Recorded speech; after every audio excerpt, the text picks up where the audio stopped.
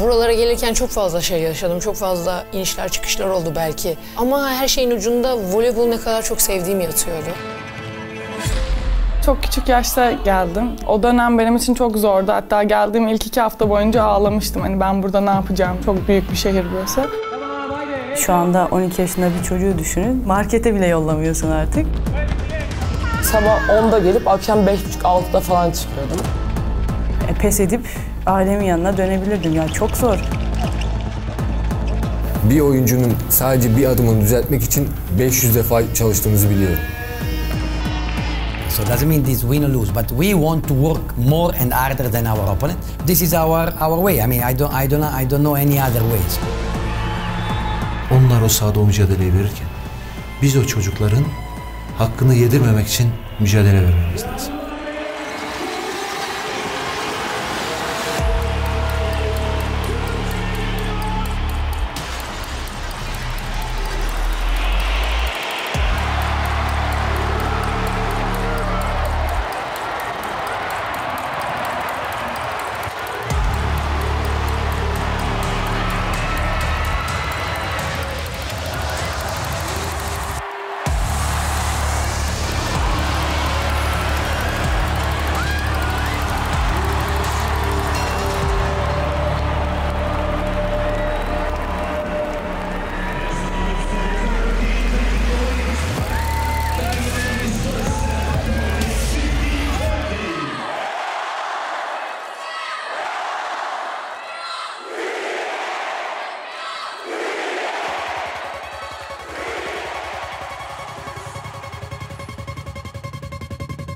Filenin Sultanları hikayesinin başladığı yerde Ankara'da yeniden Avrupa Şampiyonası'na ev sahipliği yapılıyordu.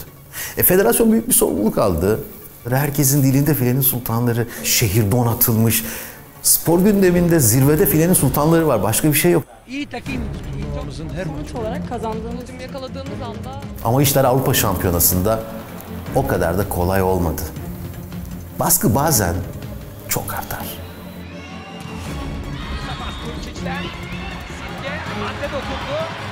Onu en çok hissettiğimiz yer Hırvatistan maçıydı.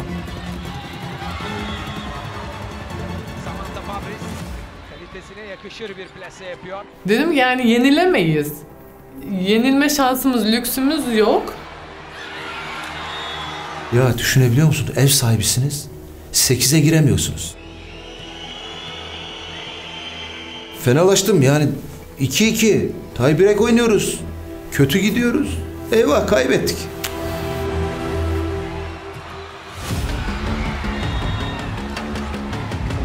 Bu bazen şey olur ya yüzdüğünü zannedersin ama bir çıkarsın gitmemişsin hiç ama çırpınıyorsun. Yani herkes bir şeyler yapmak istiyor ama bir türlü olmuyor.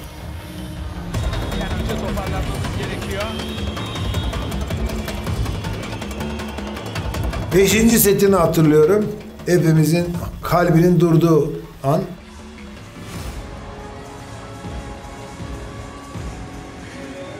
O anda gidiyoruz galiba dedim hani.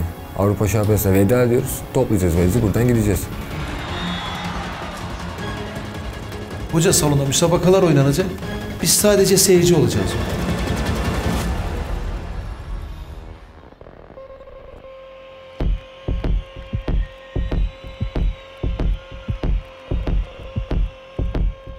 Türk voleybolunu, voleybolun içinden gelen kişiler yönetiyor. Mehmet Akif Üstündağ sporun her kademesinde bulunmuş biri. 2016 yılında başkan seçildiği ilk günden neler yapılması gerektiğiyle ilgili planı hazırdı.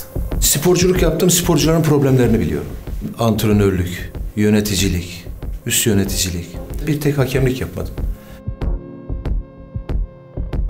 10 yıldır yapılan her projenin içindeydim. Devam ediyor. Daha da iyisini, daha da gelişmesini, nerede ne eksiğimiz var, neler var, neler yok onları çok iyi tespit ettim ve biliyorum. Milli takımların jenerasyon değişimi dediğiniz konuda da mutlaka her dönem, her branşta eee, bu sporda bir değişim söz konusudur. Zaman zaman burada da olacaktır. Olmaya da başladı. Ulusal ve uluslararası organizasyon. Bunlar bunlar mutlaka bu voleybol olmazsa olmazlarıdır.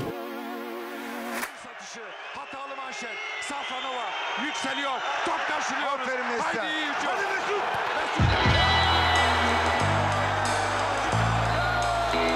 Türk kadın voleybolu 2003'teki Avrupa Şampiyonası'nda ev sahipliğiyle sıçrama yaşadı. Seyirciyle birleşti takım. Finale kadar gitti. O kadrodan çok önemli isimler çok uzun süre milli takıma hizmet etmişti. Ne yazık ki bir değişim zamanı gelmişti. E, bu değişim yapabilmek için A milli takımın emanet edileceği koç da çok önemliydi. 2016 sonunda en önemli şey takımların yapısını, antrenör, teknik ve idari kadrolarını oluşturmaktı. İleriye dönük bir milli takım yaratmak istiyorduk. Sahada takımlarımız savaşırken biz de dışarıda stratejik olarak bir takım oyunu oynuyoruz. Biz göreve geldik. İlk işlerimizden bir tanesi milli takımın antrenörlerini tayin etmekti. Giovanni Guidetti Bulgaristan milli takımda antrenörlük yaptı. Almanya'yı çalıştırdı. En sonunda Hollanda ile sözleşmesi vardı ve orada da çok başarılı olmuştu Hollanda milli takımı. Başkan dedi yani bize en uygun model Giovanni Guidetti. Bizim bunu Türk voleybolunun başına getirmemiz lazım. I start coaching very, very early. I was 23 years old and they offered me, I was assistant coach. And okay, before that, I always played volleyball. I play volleyball, play beach volleyball. I play, play, play always, all my life. Volleyball was in my blood and in my, in my daily routine. Hollanda ile sözleşmesi devam ediyordu. Cevap bekliyorum. Olabilir neden olmasın diye bir cevap geldi. Ben hemen atladım İstanbul'a geldim. Federation was, was very clever because in the same moment, Giovanni, you know you have a contract with Holland, but you know now you have a child, your family is here, of course, you know Bahar and Alison, they are in Istanbul. So what do you think to take Turkey? The same job that I have in Holland. When, when you have a daughter, you know everything changes. It's difficult to say no. Bizim vizyonumuz, hedeflerimiz, projelerimiz Guidetti'ye de cazip geldi. Giovanni'yi milli takımın başına getirdik. are pretty clear. We have to qualify for the next World Championship, and we want to make try try to win a medal in the, in the next European yeah, these are the, the short term. The long term, starting to use the Grand Prix of this season, is to start start to build the generation. This person in reading in case 2017 ile beraber zaten federasyonumuz değişiyor. Akif Başkanımız geliyor. Bununla beraber Giovanni'yi getiriyorlar. Onun kendi staffı geliyor. Takım tekrardan şekilleniyor. I think the first target was to create a team that I love to work with. Çok şanslı olduğumu düşündüm o anda. Çünkü ne istediğini bilen biriyle çalışmak, benden ne alabileceğini biliyor olması hem benim için güzel bir meydan okuma hem de ne verebileceğimi göstermek için çok güzel bir arena aslında. Takımlarının mücadele gücü, takımlarının oynama stili ve takımı yönetme şekli açısından içinde olup neler yaptığını görmek çok büyük bir şanstı benim için. O elindeki bir şey olacağını gördüğü insanları meydana çıkartmak istedi. Yani çok istiyordum Giovanni ile çalışmayı. Bir yandan da hayalim gerçek oldu yani. Giovanni ile çalışmayı çok istedim. Her sene farklı bir şeyle karşılaşıyoruz. Staff is the most important part of the team. Staff is the, is the team that have to lead the team. So if the staff have some problem, the team will have some problem. If the staff is not good enough, the team will not good enough. You know, I'm the coach of national team. Giovanni'nin en önemli özelliklerinden biri de çok iyi bir taktisyen olması. O taktiği inşa edebilmesi için de ona e, gerekli verileri sağlayabilecek e, kendi takım arkadaşlarına ihtiyacı var onun da. Çok büyük saygı duyuyorum hepsine. Çünkü gece gündüz demeden inanılmaz çalışıyorlar. Ben Gio'nun istatistikçisi olmak istemezdim. Çünkü hiç durmuyorlar. Yani belki iki saat falan uyuyorlardır yani. Sabah saat 5'te 6'da Giovanni'nin kapısından kağıt fırlatıyorlarmış. First word that I, I was always asking was Chaliskan, Chaliskan, Chaliskan. So this have to be for me the main word for all the, the, the member of the staff.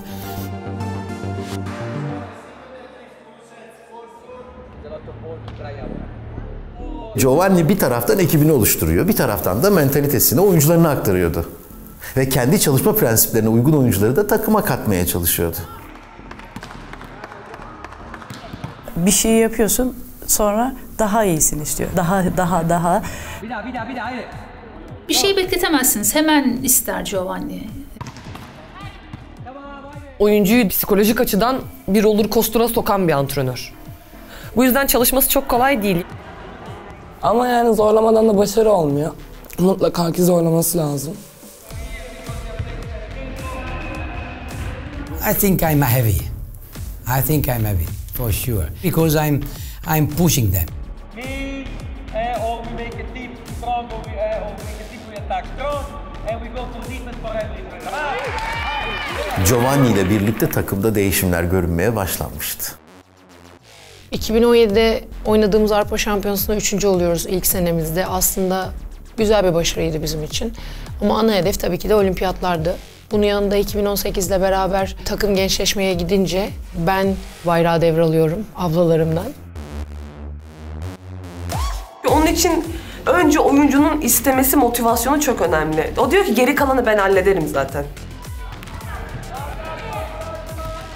Takımın tek bir karakteri olmasını en baştan zaten anlatıyor bize. Bizler de başarılı karakterde sporcularız. O bizim içimizdeki en iyi bulabildiği için aslında biz başarılıyız.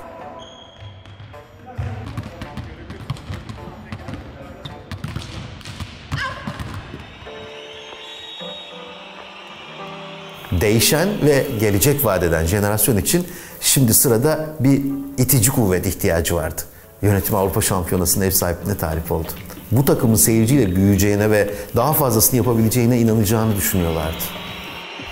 Tabii bunu sağlamanın birçok yolu var. Onlardan bir tanesi de e, uluslararası düzeydeki önemli turnuvaların ülkemizde düzenleniyor olması.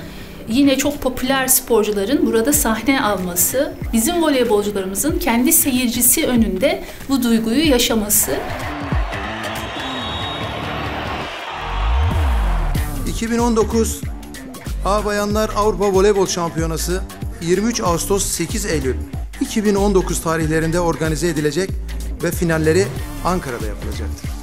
2003 yılında Avrupa Voleybol Şampiyonası Ankara'da oynanmış, seyircimizin harika desteğiyle büyük bir başarıya imza atmıştık. Ankara seyircisinin bize yine büyük bir destek vereceğini düşünüyorum. Biz talip olduğumuzda dört ayrı ülkede yapılıyordu. Ama burada önemli olan ev sahipliği önemini arz eden grup, yarı final ve finallerin bir ülkede yapılması. Biz buna talip olduk.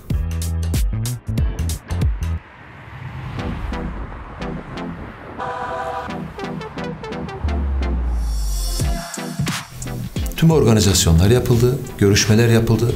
Başkentte oynanacaktı. Kendi salonumuzdaydı. Biletler satışa çıktı. Sayın Cumhurbaşkanımız şöyle durdu. Bak başkan ben sana söyleyeyim bu salon bize yetmez dedi.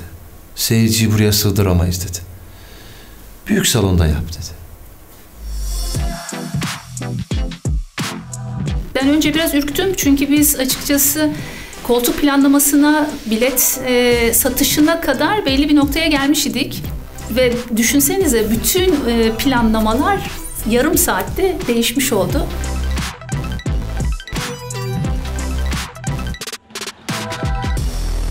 Federasyon bir taraftan, takım bir taraftan Avrupa Şampiyonası ev sahipliğine hazırlanıyordu. Ayrıca bir de Çin'de oynanacak olimpiyat elemesi vardı. Takım bu önemli turnuvalar öncesi İzmir'de kampa girmişti. Uzunca sanırım 8-9 gün kaldık ve 7 günü falan çift antrenman yaptık. 10 aylık olacak o dönemde çocuğum. Neredeyse 15-16 ay sonra sahaya ilk defa çıktım. Ben ne Giovanni bana dur dedi, ne başkası dur dedi, ne ben dur dedim. 3 saat süren o antrenmanı yaptım. Ee, yüklenme dönemi zaten gözlerden yaş gele gele antrenman yapıyoruz. Ya bir insanın sınırının olmadığını anladım.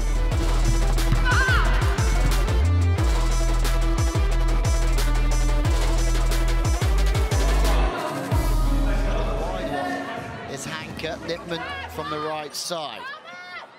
Chance for Carrick. Carrick showing she's a forward. Two points in.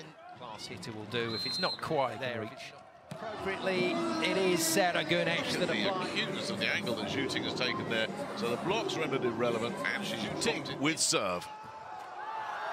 And that'll do it. It's an ace to send China to Tokyo. The defending champions from Rio will be there to try and keep possession of that Olympic gold medal in Tokyo. Takım olimpiyat elemelerinde ilk şansını kaybetti ama önlerinde Avrupa şampiyonası vardı.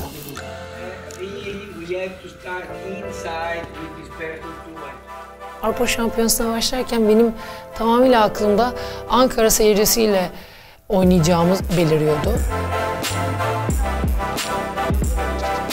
Oraya zaten adım attığından itibaren ya evet turnuva başlıyor galiba hani havaya girmeye başlıyorsun. Spor yöneticisinin en önemli görevlerinden biri takımın en iyi performansı göstereceği ortamı yaratmaktır. Ve federasyon tüm imkanlarını seferber etmiş 2019 Ağustos'unda Ankara'yı adeta bir voleybol şehri haline getirmişti. Ankara'da sokaklarda, caddelerde bizim posterlerimiz vardı. Salonun çevresi zaten öyleydi. Ne kadar değerli olduğumuzu bize çok hissettirdiler, çok kez kere. Gerçekten büyük bir salon, büyük bir organizasyon.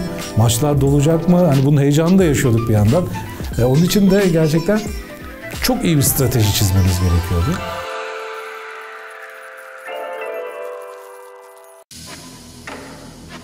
Başkan var. Ne yapıyor burada? I mean, eh, there is 2,000 people maybe will come to matches. 3,000. Here can sit 12,000. It will look empty. Giovanni salonu gördü. Çok büyük salon. Nasıl dolduracağız? Burada seyirci var mı seyirci dedi. Moralini bozma. Seyirci olacak burada dedim. Tabii bir taraftan da kendi içimden endişelerim yok değil açıkçası. Samimi itiraf edeyim yani. Guidet yanıma gelip dedi ki "E, ben senin yerinde olsam büyük bayraklar düşünürüm. Kale arkalarına pankartlar düşünürüm. Çünkü de olmayacak. I mean, of course, you know, you know Turkish fan much better than me. You know Turkish volleyball history and, and love of the people better than me, and it, he was absolutely right. So I was not expecting this, and was was really great. I tell you, the, the feeling was was really amazing.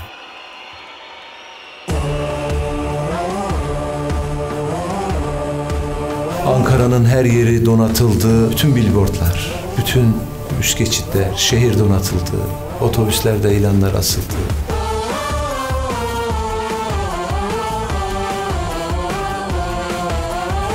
Filenin Sultanları şarkısı her yerde çalıyor. Takım ve seyirci şarkıyla coşuyordu. Doğasında başarı, tarihinde gurur var. Önümüzde kupalar. Biz bir caddeden yürürken arkamızdan işte Filenin Sultanları şarkısı söyleniyordu. Biz şok olmuştuk. Sürekli biz böyle kenarda maç oynanırken bile çalıyorlar yerimizde duramıyorduk. Sultanları vuruyor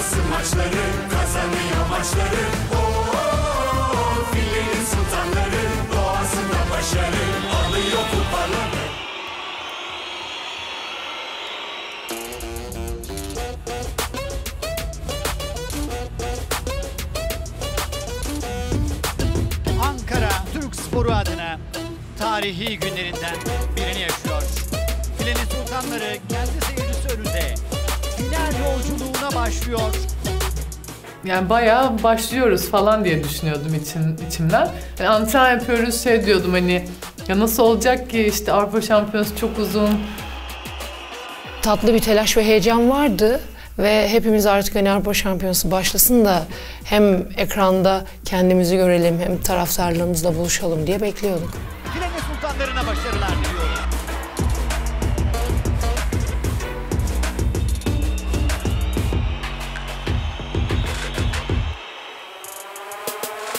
Yani ilk maçlar hep zorlu geçiyor. O adaptasyon süreci, yani performansın aslında bir turnuvaya başlarken hep yükselerek gidiyor.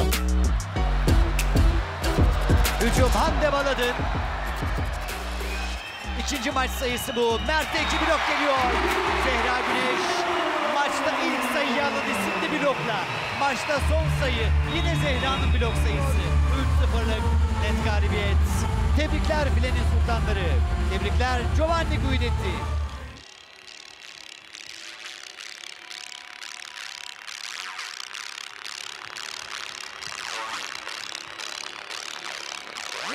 Ne zorlamışlardı bizi ya. Of. Çapraza güzel vuruyor. Zehra çıkartamadı topu. Ya inanılmaz defans yaptılar. Bence en iyi oyunlarını falan oynadılar. O da bize denk geldi. Hele bir dört numara vardı. Forma numarasını hatırlamıyorum. Plaseyle öldürdü bizi.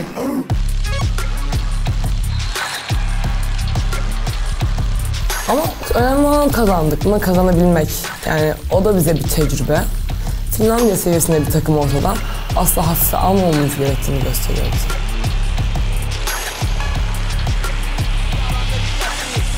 Bıraktı Simge ve sayı. 15-10 alıyoruz karar setini. Bugün rakibimiz Bulgaristan.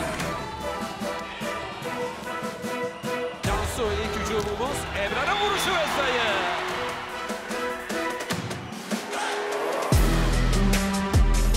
En iyi oyunumuzu oynayarak da başlamadık ama bu biraz da Giovanni'nin, Ale'nin e, planı çünkü onlar hiçbir zaman bir turnuvaya takımı fişek gibi çok iyi oynayarak başlatmazlar. Yani hep turnuvanın son gününü hedeflerler.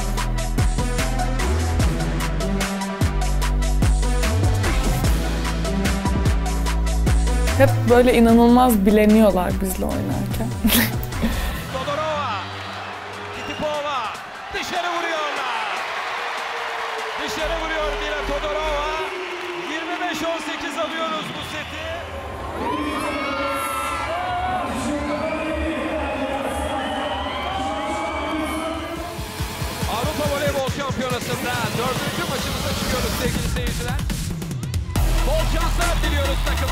Bu maçlar diğerlerine nazaran daha kolay ama bu maçlar bizi asıl yerlere hazırlayacak.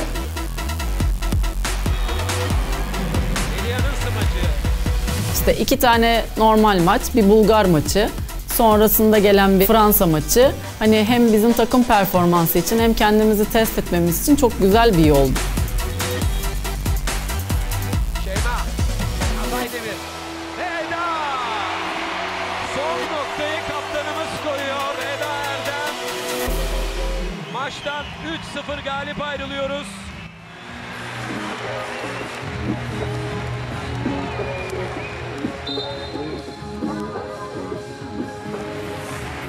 Güçlü olduğunu biliyorduk. Onlarla savaşmak için çıkmıştık. Savaşıp elimizden geleni yapacaktık. Olmadı. 3-1 kaybettik ama oraya gelene kadar 4 maç kazanmıştık. Gruptan çıkmayı zaten garantilemiştik. Yaş ortalamasına baktığın zaman karşı taraf daha tecrübeli. E, başa baş bile oynamak güzel bir şey bence. Sonuçta onlar senelerdir aynı takımla oynuyorlar.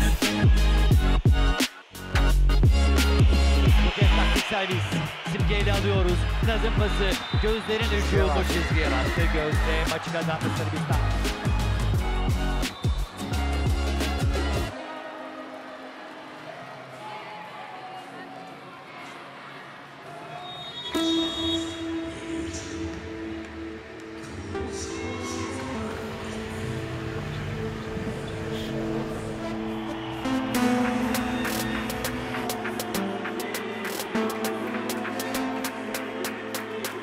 Maça başladık. Pasör çarpazları Fabris'i tutamıyoruz.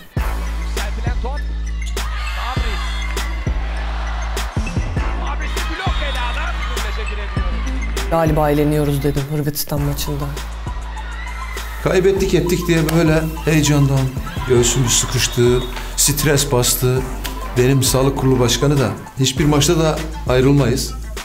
O günde o maçta yok. Ya düşünebiliyor musun? Ev sahibisiniz. O maçı kaybederseniz ilk 8'de değilsiniz. Ev sahibisiniz. Çok fazla beklenti var, inanılmaz bir ilgi var. Federasyon bir dediğimizi iki etmiyor. Koca salonda müsabakalar oynanacak. Biz sadece seyirci olacağız orada. Nasıl bakacağız insanların yüzüne? Yani nasıl biz kendi evimizde oynadığımız bu turnuvadan ilk 8'de kalmadan elendik deyip yani ben kafamı kaldırıp yürüyemem. Kenarda ısınıyoruz işte. Giovanni'nin Fatma dediğini hatırlıyorum. İçimden şey dedim. Allah'ım ne olur yardım et. What means be an orchestra means that this guy has so is so motivated like the first violinist. This is the team. When this guy knows that he have to touch one ball a match, maybe two, maybe zero, but this ball is so important for make the team win. So he put the same passion, the same attention, the same attitude in training like the guy that attack 100 ball every match. Okay, so when I have when I see my team like this, I am very happy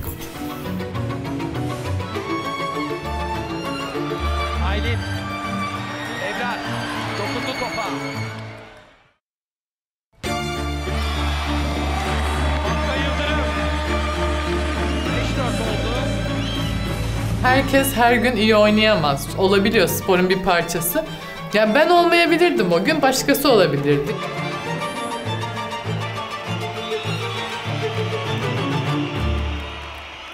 Aman Allah'ım ne oluyoruz dedim. Ya 12-11. Hırvatistan önde. Tiebreak.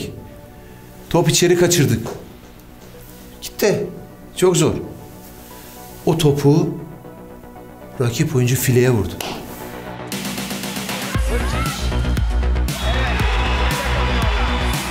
Hay Allah'ın dert görmesin dedim yani. Hay Allah Allah'ın dert görmesin dedim. 12-12'yi yakaladıktan sonra gözü kapalı, tecrübeli oyuncular. işte orada Nazım, Eda'nın böyle bir devreye girmesi.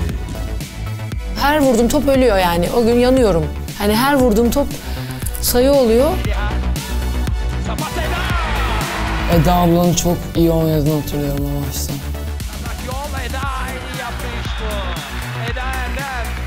O gün çok iyi bir takım oyunu vardı. O da bize zaten maçı getirdi.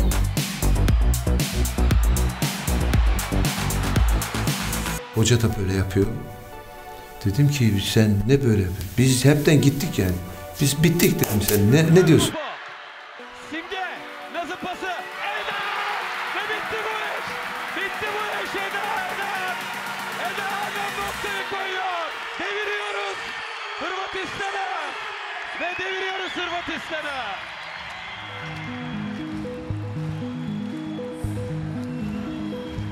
Hollanda maçında millette baktım sağımda solumda arkadaşlarıma böyle görüyorum bir panik bir tedirgin bir endişe hakim.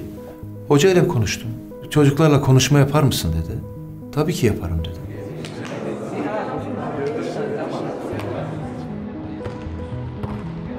Kızlarla bir toplantı yaptık. Bakın dedim ben abi diyebilirsiniz, başkanım diyebilirsiniz. Zaten hepiniz baba diyorsunuz. Biz bir hikaye yazmaya başladık. Bakın size ne diyorlar? Sultanlar. Hiç kimse size babası hayrına sultanlar demiyor. Siz gerçekten sultan olduğunuz için sultanlarsınız dedi. Teknik anlamda ben de içinden geldim ama benim işim değil. Benim işim ne biliyor musunuz? Sizi sizden çok sevmek. Bu ülke sizi sizden çok seviyor. Sonunda spor. Kaybederiz kazanırız. Ama kazanmamamız için hiçbir neden yok. Ben size inanıyorum. Rahat olun. Çok rahat bir maç olacak dedim.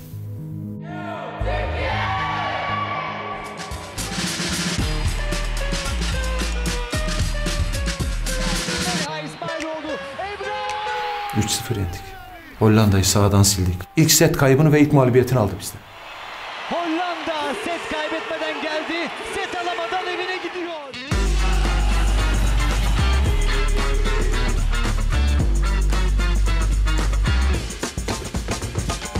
Hırvatistan maçıyla beraber dedim ki tamam bu takım yani herkesi yenebilir, her şeyi yapabilir.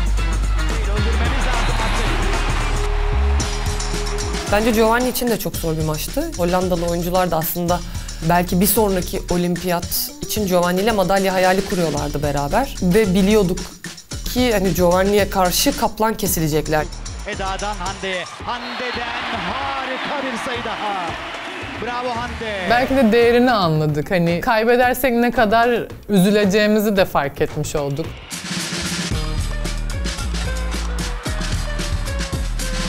Yani ben taktiklerini değiştirirler diye ummuştum. Ama değiştirmediler. Boş olduğunu gördüğüm her an plaseye attım ve düştü. Bu plaselere çözüm bulamıyor Hollanda. O anda bir iki tane atmaya başladı. Hani dönüp abi düşüyor dedi. Devam et dedik hani atmaya. Hande maç çok iyi oynamıştı onu hatırlıyorum. Onlar uyanmadan maçı hop aldık bir baktık biz yarı finaldeyiz.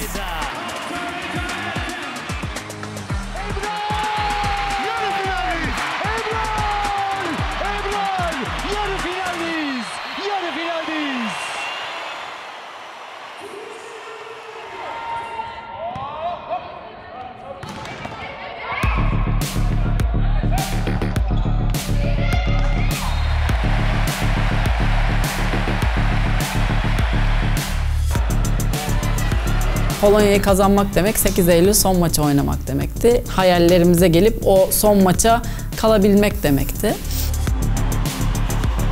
Ben hatırlıyorum yani maça bir başladı Kübra acayip servisler attı. Hani rakip manşet alamadı, servis atamadılar. Hani seyirci inanılmaz bir baskı uyguluyor. Seyirci gelip böyle oturmuyordu. Yani işte o bayraklar, tişörtler hani her şeyiyle seyirci sanki gerçekten böyle sırtınızdan itiyordu sahada sizi. Onu çok hissettik.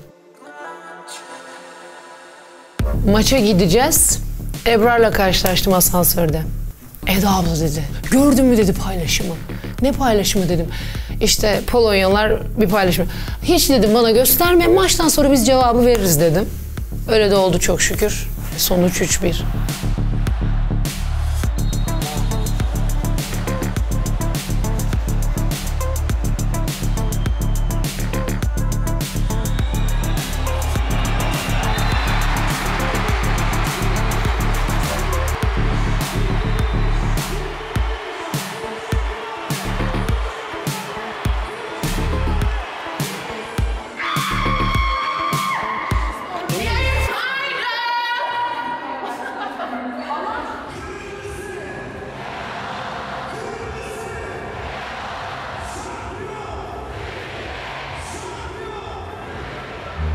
Finaldeyiz artık hani bunun şakası yok. Elimizden gelenin en iyisini ya- yapmamız gerektiğini herkes biliyordu zaten.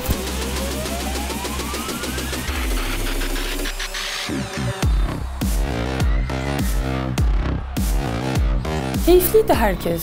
Nasıl olsa bir madalya garanti. Onun rahatlığı vardı. O turnuvada final maçı Sırbistan karşısındayız. 2-1'den 2-2'yi yakaladık.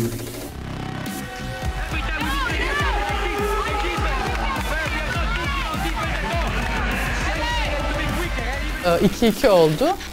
Ben kenarda Gözde'ye şey dedim. Gözde dedim herhalde bayılacağım hani artık. Giovanni beni oyuna çağırdı hani gel gel gireceksin diye.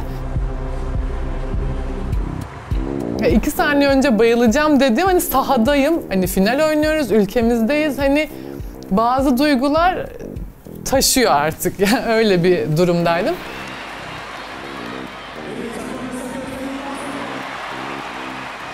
İki ikiye getirdik. Hani tribünler yıkılıyor. Kenardan Akif Başkan böyle sahaya atlayacak neredeyse. Hatırlıyorum yani yöneticiler orada oturuyorlar. Tiebreak'te 9-6 öndeyiz. Servisi atıyoruz. Topu kaçırıyorlar. Direkt manşeti içeri kaçırdılar. Biz o topu önümüze düştü alamadık. Aklımdan şu geçiyordu, dürüstçe söyleyeceğim. Sırbistan'a karşı oynuyoruz Eda. Ve hani altından altı sayı gerideyiz. Yani skor da açık. Galiba şampiyon oluyoruz biz. Gerçekten oluyor. Düşüncesi vardı kafamda.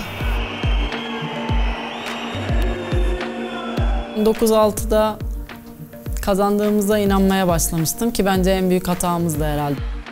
Belki yani kritik bir noktada düşmüş olabilirdi o top ama onu orada bırakıp devam etmemiz gerekiyordu. You know, so you, you know that, that you have the chance, but 9-6 in volleyball means nothing. 14-11 in volleyball means nothing sometimes, you know. So it's really just think about the next point. And Serbia was very good in this moment to to be patient, to not make mistake, to put us in trouble. And Bu finalde kaybettik. O tarihten bu tarihe. Bana en çok sorulan soru. Başkanım, bu takım finalde Sırbistan'a 9-6'dan nasıl kaybetti? Hay Allah. Rüyalarımıza girdi. 9-6, 9-6. 9-6 ile yattık, 9-6 ile kalktık.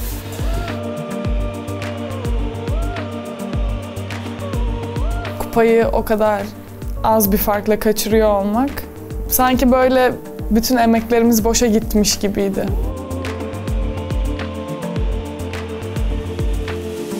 Ya yok olmak istediğim bir anı hatırlıyorum. Bir süre böyle hani kendimi saklamak istedim, gizlemek istedim. Ben iki gün falan ağladım herhalde yani kaybetmişiz, oraya kadar getirmişiz, nasıl kaybederiz? Ben hiç kendime gelemedim. Üstü açık bir otobüs organize etmiştik. Şampiyonluk tişörtleri de yaptırdık. Sonra o tişörtler hatıra olarak kaldı. Yan tarafta sevinen Sırplar var. Zorlayıcı bir ödül töreniydi. Üzücüydü. Ailemizi görmüyoruz, tatil yapmıyoruz, gece gündüz antrenman yapıyoruz biz burada. Sırf bu kupaları kaldırabilmek için şampiyon olarak bizi uğurlamalarını isterdim. Ama sahada gerçekten Türk kadınını iyi temsil ettiğimizi düşünüyorum. Türk sporu için çok büyük bir başarı gerçekleştirdik aslında. Türk kadınının neler yapabileceğini gösterdik. Normalde kaybedilen maçlardan sonra ben ağlamayı da sevmem ama hani siz bizim gururumuzsunuz diye bağırıldığı zaman insanın içi ayrıca bir cız ediyor. Ya aynı zamanda hem çok üzgünüm hem çok gururluyum diyebilirim. Karışık duygular yaşıyorum. Ama bir ara gerçekten maç gidiyor mu diye onları korkuttuğumuzu hissettiğimi söylemem gerekiyor. Keşke sonu kupayla bitseydi ama ben eminim ki ileride çok daha güzel şeyler başaracağız. Bu da onların başlangıcı olduğunu düşünüyorum.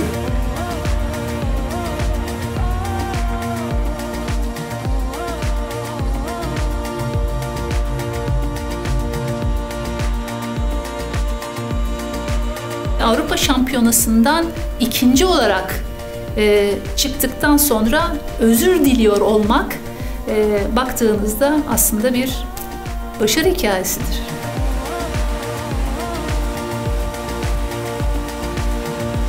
Beklediğim bir e, turnuva oldu. Ama bu kadar Türk halkını birleştirecek, bu kadar herkesin kalbi bizimle atacak bir turnuva bekliyor muydum? Açıkçası beklemiyordum ama bunu da biz yarattık.